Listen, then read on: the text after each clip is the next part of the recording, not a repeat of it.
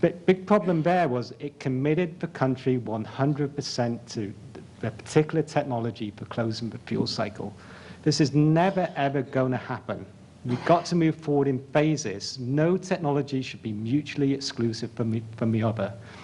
If, if Eric Loewen wants to go and build a sodium fast reactor, great. If GA wants to go and build a gas-cooled reactor, great.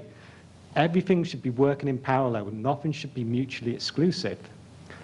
Uh, another thing I continue to see is instantaneous changes in the fuel cycle. With light water reactors today, tomorrow we instantaneously change to new reactors and new fuel cycle.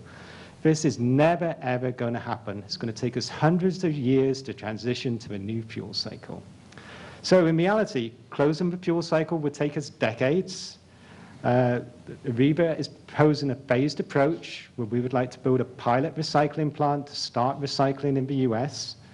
Uh, we use today's best available technology, and even starting today, this pilot plant could not be operational until about 2030.